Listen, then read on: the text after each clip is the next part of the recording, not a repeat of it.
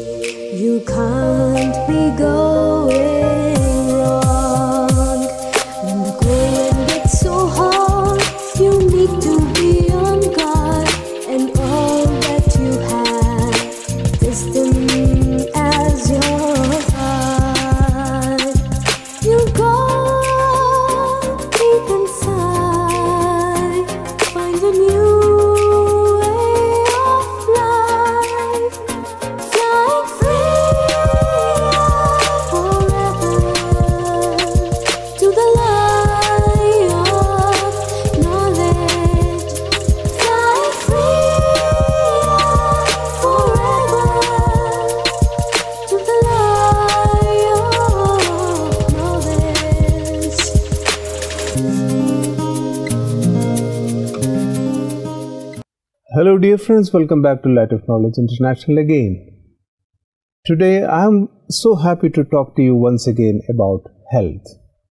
Good health, holistic health, has somehow become a become a kind of a controversial topic nowadays because there are so much of information available contradicting uh, ideas about health and uh, you know a common man looking at the scenario will be bewildered looking at the the flow of information the variety of theories proposed regarding good health. And and today the reason why we are taking up health is in light of knowledge international today we have the privilege of having dr prashant kakode a highly experienced medical professional he is the director of the CIH, the Center for Integral Health, based in Cambridge. And more than that, he is a Raj Yogi for the past 42 years. Yes, you heard me right, for the past 42 years. With his vast experience in medicine and in, in meditation, he is the right person whom we can get answers for our questions on holistic health. Let's welcome him to the studio, Dr. Prashant. I feel privileged to have you here in Godlywood Studio on our channel to talk to you about, you know, uh, there are a lot of things as a common man interested in good health and as a diabetic patient i have been doing some research my own way whatever information is available on the internet and let me tell you, it is confusing. You know, uh, they advocate the low carb diet. Then there are other people who say, no, you cannot cut out carbs like that. Uh, it is an integral part of your, your food, it should be. And the other party says, no, the body doesn't need carbs, you know, it can thrive with protein and fats.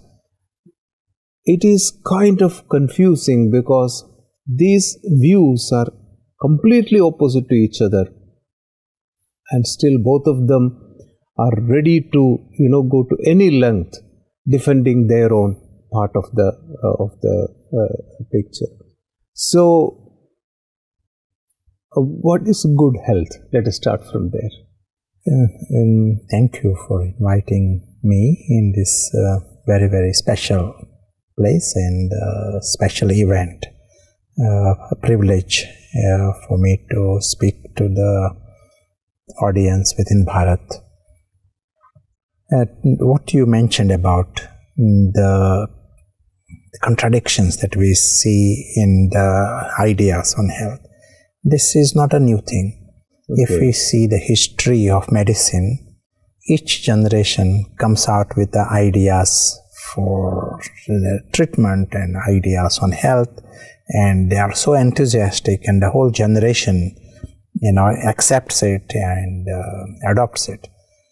And then the next generation comes, and uh, doctors come in this generation. They say their ancestors were not very clever. They Mhm. didn't have the ideas clearly, and they have their idea of how to treat different conditions and what the idea of best health.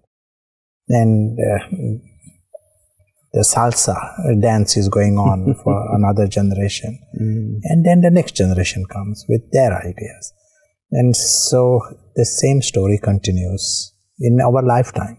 We can see what uh, 1970s, the enthusiasm of that time with certain style, and now it is already, you know, being questioned, and some other ideas. So this will continue. Your real uh, question there: Are we understanding health? What the health is? Hmm. and are we understanding what life is and answer is no Hmm. you know the present medical system is based on incomplete understanding about the the whole individual so if i was to uh, make a medical system where i completely ignore the heart for whatever reason you know i i don't like heart so and i create a medical system and a treatment and everything then it Ignoring bound- the heart. ignoring the heart then it will mm, bound to create complications and Yes, it will not yes. bring the results to to treat the body uh, in, in a- at any level we need to understand the whole person Hmm. and uh, and when we are talking about human being we can't really think of a human being with ignoring the soul and a present medical system coming from all background whether it is coming from india or coming from the west. They may have some lip service to the soul hmm. but there is no authoritative insight about at that level. okay. and so it is incomplete and uh, they want and there- there are definitions spiritual health and the social Yes, yes. Even the WHO has the word spiritual included in its definition of uh, good health, holistic that's health. right yes but uh, it is a, uh superficial understanding of spiritual Uh, uh, to, to really understand we need to know who the spirit is and what is going on at that level and in in what way there can be an illness at a at a deep level okay. so that then we can address it only when the deeper pro- issue is addressed then we will have a healthy body and health at all levels Okay. Uh, before you go on further, um, usually in the world, I have heard this statement that at least 80% of the diseases that we have are psychosomatic in nature. But uh, there was a um, doctor inside the Brahma Kumaris who uh, ready to swear by, uh, as a fact, he said, it is not 80 percentage. I would say that 100 percentage of the disease are arising from the mind. It is the psyche first and then the soma. So, do you agree with that? Is it so? Can we give it as a as a as a thought, a provoking thought to the viewers that it is not just 80. It is all the diseases are starting from the mind. Is that right? You know, of course, you know, the soul and the mind have, plays a huge part, Okay. but all conditions are multifactorial. Mm. Like, for example, someone can drop something here and uh, break my bones. Okay. It is not coming from my mind, it will come from outside sources. So, the, all kinds of factors are there, but they agreed. The mind does play a major role Mm. in, in the creation of the individual problems. Okay. So, uh, when a viewer watching this want to start with the basics of good health, where do uh, he or she start? I mean, um, what is the first step to be taken? Because we all uh, know a little bit about you know good diet and you know even uh, there are a lot of videos coming on YouTube and you know focus on your gut health. It is your gut bacteria that decides even how you feel and how you move. So there are a lot of awareness Yes. on such topics, and people are taking care. You know, uh, uh, I uh, talked to a few random people who came to the headquarters, and they had great idea about it. This is, I'm starting my day with apple cider vinegar because they understood the importance of gut health and how fermented foods help the gut. So we have an awareness on general health, but still, you say unless uh, we understand about the, the spiritual part of it, the soul. Uh, you cannot understand health as a whole. Yeah. Okay, in your uh, practical advice, what can anyone do to improve their health? Very, very simple. To pay attention to three things. Okay. One is sleep, Hmm. one is diet, Okay. and third is exercise. Sleep, diet, and exercise. Yeah, just these three. Anyone can. But you didn't mention meditation. Ah, we will come to this. Uh, it is a completely. It is a in Okay, and that, that okay. is a different uh, Okay. So first sleep, First, eh, sleep, diet, diet, and exercise. And exercise. Okay. For example, we are connected with sleep. If a person pays attention that he has a right amount of sleep, undisturbed sleep, you know, trying to see that there is no noise in that house where he's uh, sleeping in his room, there are no lights in his room, and not disturbed uh, often. If he d- takes that caution and uh, avoids unnecessary caffeine and uh, you know drinks that uh, it disturbs the brain and late night snacking. Th- those kind of things. Then and sleep is paid attention to. Little you know most of the the people once there is awareness they can make these little changes and get a good sleep. It has huge influence on the health long term health of the body. Exercise at least 20 minutes of good exercise every day anyone can introduce. Hmm. It can be fast walking. Okay. like if you are going up the stairs don't wait for the lift. Climb up the stairs. Hmm. You know just let the body get exercise. We are made for that. Our ancestors walked at least six miles each day for their hmm. basic existence.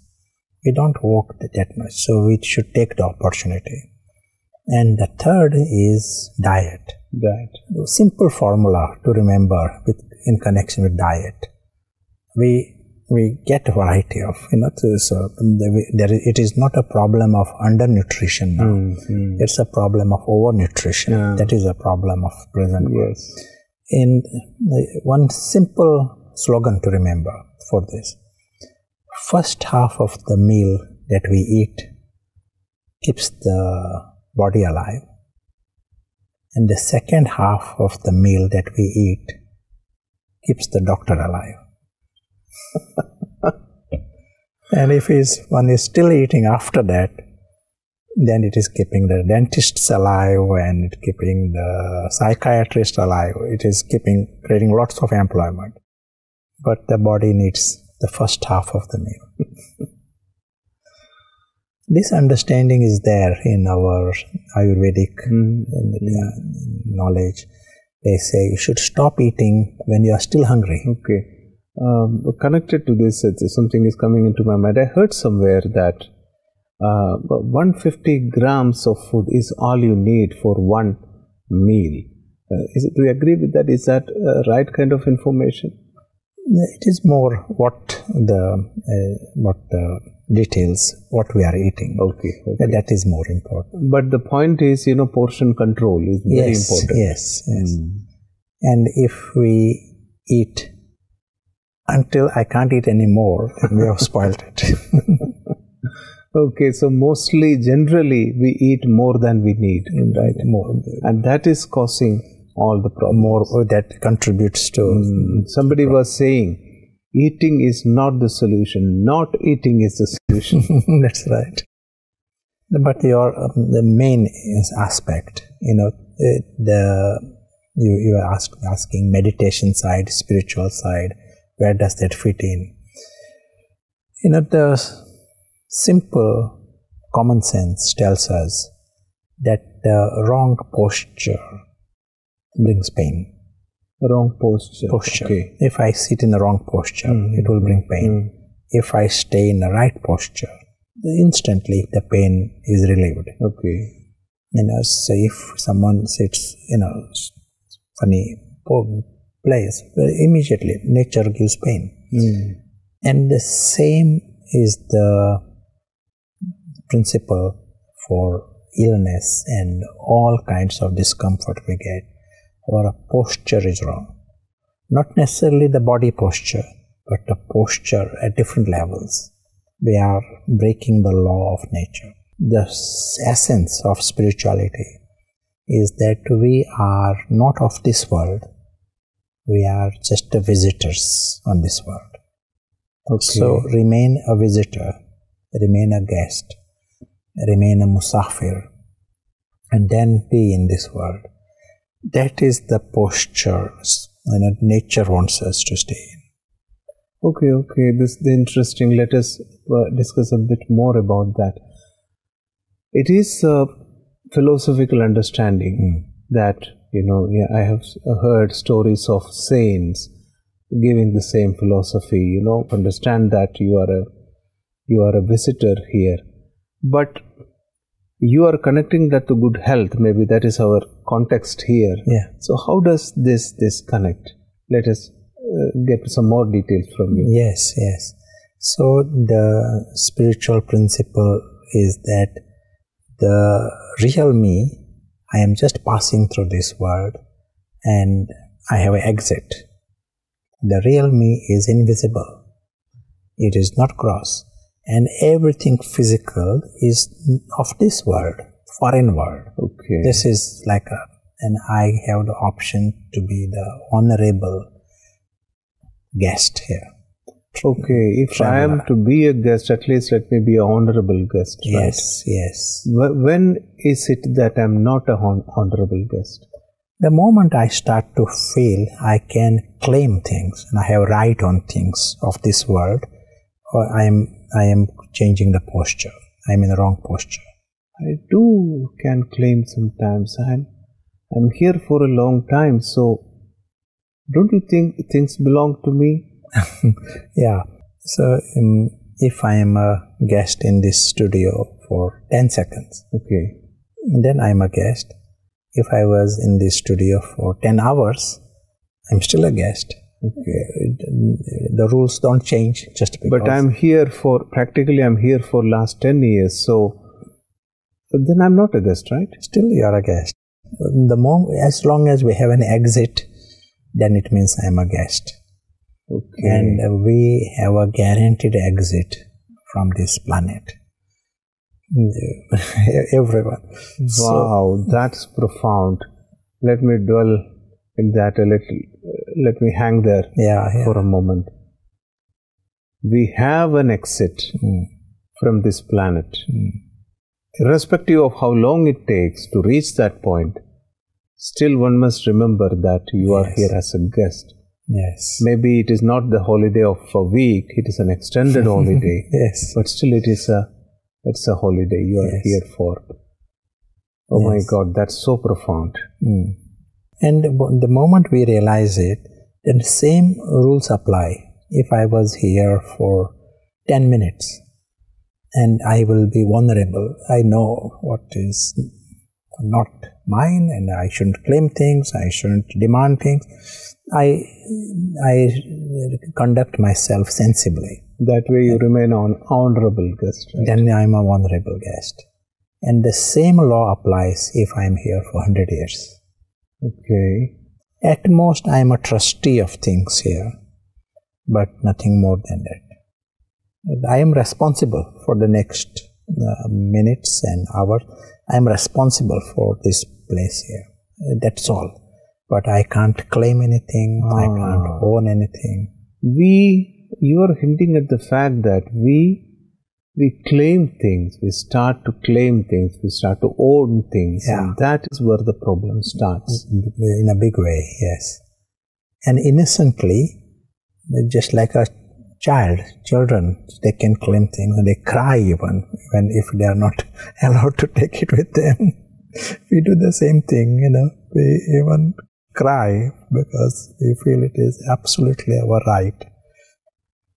We are ready to fight to any extent to, to you know it is we talk about our rights and you know Yeah, this leads to the wrong posture. uh, now I understand what you mean by posture. and then it brings pain inner pain psychological pain because i feel i'm losing so many things but that same attitude at a deeper level with our senses body and the senses that is the cause of pain through the body and the illness of the body in principle you know, there are more details to, to understand at that level. Doctor, you have just, you know, kind of awakened my curiosity to such a level that I don't want this episode to stop, but we have time restrictions. But on the uh, uh, behalf of viewers, I can tell you that we want you here again uh, to talk about this. So I'll see you in the next one. It's pleasure. Thanks a lot for coming today. It's pleasure. So, dear friends, that was profound, and we are going to continue with Dr. Prashant Kakode. So, I would request you to stay with Light of Knowledge International. We are going very deep. You know, uh, the takeaway, if I can say, put it like that, for today is check your posture. I hope you, you got what he really meant by posture. You know, we are a guest in this world and if we forget that, we are into trouble. I think all the pain and all the trouble that we are facing today, if at all we are facing, it is coming from this very basic fact that we have forgotten how to conduct ourselves in the world. He said it very clearly that, you know, we start to claim things and own things, and that is the moment we become the dishonorable guest. Think about it, it's very profound, and by the time we come again uh, to you with another episode of Light of Knowledge International. Take good care. It's a goodbye from all of us in the studio.